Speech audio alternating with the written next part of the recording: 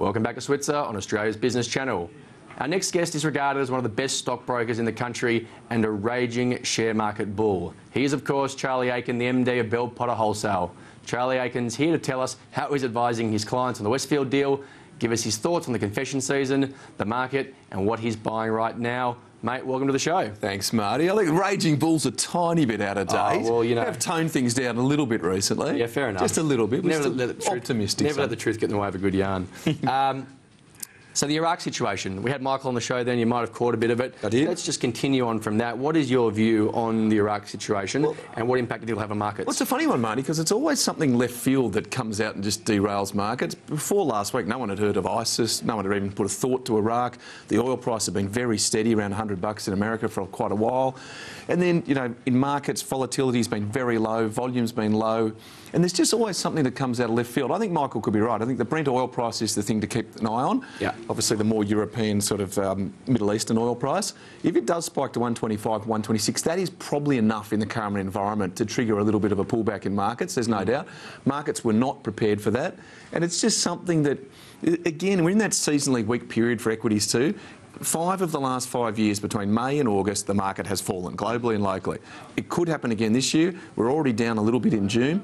And actually, what another thing people forget, Marty, the market in Australia is exactly where it was nine months ago. We've actually gone sideways for nine months. Yeah. So you don't buy the, the term grinding higher? It feels like we've been grinding sideways. no, I think it's it's been grinding it out. I mean, it hasn't been a great return. It's been a stock picker's market. That's a cliche. Yeah. But picking stocks is how you've added value, and avoiding avoiding stocks is how you've added value. It's been very divergent stock performance. This little episode in Iraq. You know, Michael's made a good point. It's at the same time as there's pressure in the Ukraine as well. Hmm.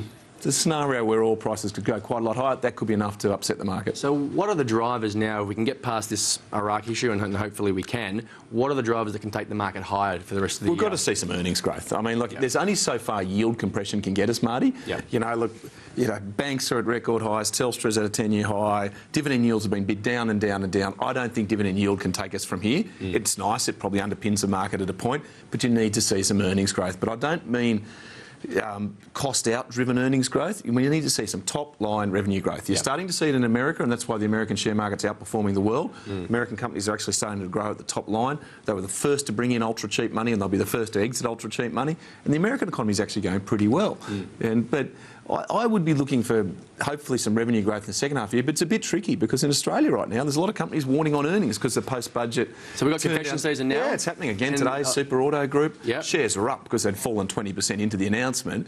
But again, another retailer saying things are pretty tough. And do you think that's budget related, consumer confidence related? Because there's been reports, you know, Deloitte came out today saying that, you know, retail sales uh, will be strong this year as they will next year on the back of, you know, low interest rates, Look, um, it's a tricky rising one. house prices. I mean, everyone looks for an excuse, and the budget, you know, no offence to the government, the budget's been poorly sold. Yeah. Whoever's doing the spin on the budget has done it very badly. It's, it seems that it, just about everyone in the entire population thinks they're worse off. Well, that's probably not the outcome. Mm. Yeah. So I don't think that's helped. I think we can get through that. But if you talk to any retailer, May, May combined with some unseasonal weather, was terrible. Yeah. Like activity did drop off the cliff. Yeah. You can see in these profit warnings from discretionary retailers, they're big, quite big profit warnings. But look, I think later in the year, house prices are still firm, interest rates are still low, the share market's going along, the Get over the budget's off the headline. Look, there's a chance retail sales can come back. But in the meantime, I'd just be hiding in the grocery retailers. I think they're a better place to hide. So before we go to uh, Westfield, I do want to talk Yep. about that. Uh, just stay on confession season, do you think any of the other major players in the consumer discretionary stocks, your Myers and whatnot, could come out with some confessions? Well, it's, it's pretty much it's assumed now in the market that everyone's going to say something. I mean, all the share prices have been marked down, some quite sharply. Yeah. I think the other way, Marty. I think it's probably the people who service the um, service the retail sector. Maybe some of the transport stocks, some of the media stocks. Yeah. You know, they've been pretty sloppy on the back of this too. You know, and I think anything that's East Coast cyclical, consumer facing, is just in that sloppy period where the market's worried they're going to confess that it's got a little bit worse. But that can come up. That can go all the way up to August, up to the full year results. Yeah. And I think once we get some clarity at the full year results and some outlook statements, maybe it all stabilises. But a bit further to go, though, I reckon. Oil price, that should hurt a few retailers too, you'd think? Just a sentiment thing too. Household budgets. You know, you can see again today fuel prices are up at the Yeah. pump. Just doesn't help. Yeah. You know, people go, oh, the fuel price is up. It's just another reason Not to spend. Not to spend. Yeah. Okay, so uh, there's a big vote on June 20. You've Yep, come come- out and you've uh, expressed some um, uh, strong and intelligent views, as you always do, in relation to the, the, the Westfield saga. what you think your clients should be doing. Can you give us... The, well, I think I, there was... Firstly, a quick summary of the situation, because I think a lot of people don't understand it. And then also what you think investors should do. It's pretty. It's an interesting one because obviously the Lowies put a proposal to um, vend the other half of the Westfield Australian and New Zealand assets that they own in Westfield Holdings into Westfield Trust at a, at a ratio that was deemed, you know, fair so and reasonable. They own any of Westfield Retail Trust. They own none of Westfield Retail Trust, but they own 50% of the assets that are the and Westfield Retail Trust owns the other 50%. Yep. They own 8% of WDC. That's a little bit complicated to start with. Yep. The proposal was that they would simplify the structure. All the offshore assets would be in WDC, all the Australian assets would be in WRT. The, the Lowies end up owning 4% of both companies. There's a, there's, a, there's a capital return and a ratio and all this sort of thing we shouldn't be bothered getting into here. Yeah, yeah. The argument comes they down... a new company called Scentre. Yeah, Scentre. It becomes uh, Westfield Corporation and Scentre Group. Scentre's the Australian one. Most people who look at it think it's fair enough. It's not, not the, the, the most you know, easy deal to analyse, or not the cheapest deal, or not the best deal, or whatever. But it's it, the independent experts claim it's fair and reasonable. Most commentators I've read believe it's fair and reasonable. The problem was in the first vote, they needed 75% of the votes to go in their favour. They got 74.1 because a few institutions stood against it. That's fine. Institutions are allowed to have a view. They've got no problem with that. The reason I entered the debate was that a very large proportion of retail investors who own WRT did not vote. Mm. Now, I think this is something you need to vote in, one way or the other. I mean, I've advised my clients to vote it through because the Lowies put a different proposal together that said if it wasn't voted through, they would go it alone anyway. Mm. And they would create another company, probably called Newco, which would have their half of the Australian assets, and WRT would be left with their half of the Australian assets, paying management fees to the Newco. And the Lowies would own no percent of WRT.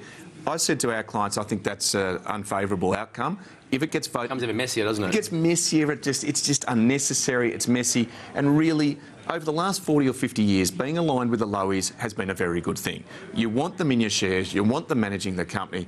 They turned a delicatessen in Liverpool into the world's biggest shopping centre owner in, in 40 years. That's absolutely amazing. Mm. And look, I don't have a problem with the institutions and the minutiae of the deal and some of the things they're upset about and they bought an apple and got an orange and that's that's a little bit of that's true. Mm. My point is that if you're a retail shareholder in WRT, you should vote one way or the other. Yeah. Because if you look back and it doesn't happen and, the, and it gets voted down, the lowies leave you and don't own any of your shares and set up a sort of competitor, don't say you weren't told. And I think that's the bit I was trying to say to our shareholders. I think we have enough shares that in, inside our shareholder base that we could actually turn the vote. Yeah. They can make up their own minds, but I just think they should vote. And you're basically voting, in my simple summary, for a future with the Lowies or a future without the Lowies. Management. And I just said, well, I, I want to be aligned with the Lowies. Through time, that's worked well. They're very sensible. Mm. And we'll see how we go on Friday. The Fin Review is reporting that, that a couple of institutions have changed sides, and I think this will get through on Friday, mm. and only just. And I think that it's also important that you know anyone who owns WRT shares is watching this program at least thinks about how they're going to vote, votes and gets their proxy form in by Wednesday. What was the issue that um, the UniSupers and the and the, the Stephen Maynes of the world yeah, had it's about the, the value. It's about the value of the development company that also come and the value of the management rights. The Lowies sweetened the deal by 300 million. There's also issues about the gearing going from 23% of WRT to 37%, but then of course the WRT said they want to get the gearing back to 30 odd 2% by some asset sales.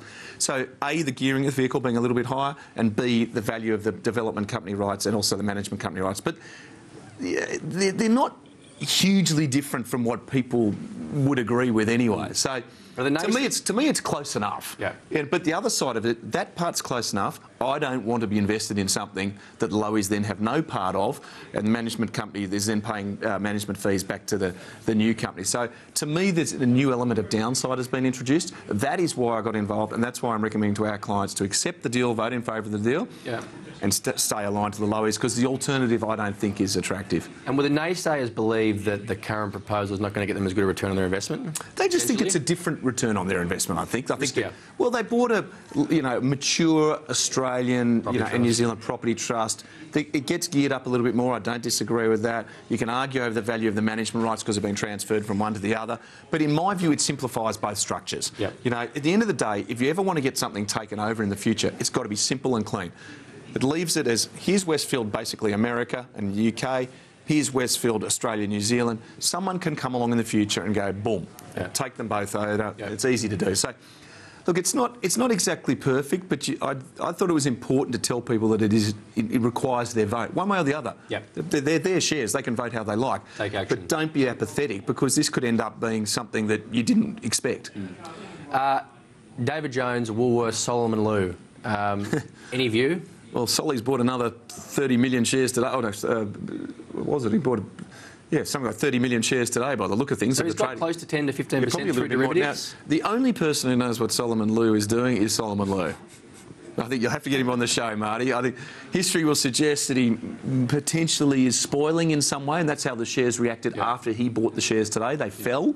Okay. So people were thinking, well, maybe he is not going to accept. There's something he wants out of this, or he just doesn't want it to happen. Yeah. But at the end of the day, uh, really and truly, the only person who knows that is is Solly himself. Could he pose a serious threat to the takeover? Yeah, he could block it. He could, and Absolutely. But he couldn't. Could he afford to buy it himself? I don't think anyone thinks he's taking the whole thing over. I think most people think there's a chance he's blocking it. yeah, which is similar to what he did with uh, uh, Country Road. Country Road as well. Yes, yeah. Okay. Look, he's played his cards well. He bought 30 million shares today by the most, you know, 100 million bucks worth of stock. That's- That's not, nothing to be sneezed at. Yeah. But I, I doubt he wants to take it over. Iron ore and miners. Iron ore, yes. What's happening here? Iron ore's been trouble. I think, look, it's simple as this, Marty. The iron ore supply response has arrived after, you know, 10 years. Yep. It's arrived from Fortescue, BHP, Rio, Vale. At the same time, uh, Chinese demand has, you know, slowed a little bit. The other thing is the Chinese are inquiring. Better numbers came out of China though during the Yeah, week. but they're, they're different. They're not, they're not necessarily to do with iron ore. Pro- property numbers weren't good, which probably Yeah, exactly. And also, Yeah. there's also an inquiry into financing of iron ore and copper at the port of Qingdao, I can't even pronounce it, which may suggest that the Chinese are trying to get traders out of the market. Look, I, look the iron ore price where it is now and the, and the Aussie dollar not giving any ground, it basically makes any low grade iron ore or miner in Australia marginally profitable at best. Mm. Now, the share market's onto that. It's market. FMG. You know, Fortescue, on our numbers, if, they, if, if $90 iron ore persisted and a 94 cent Australian dollar, it would make earnings per share of 16 cents. The current consensus forecast is something like 60. So no one thinks, no, at this moment in time, people don't think iron ore and the Australian dollar are going to stay here. But if they do, for, you know, for fiscal year 15, it's a very bad scenario.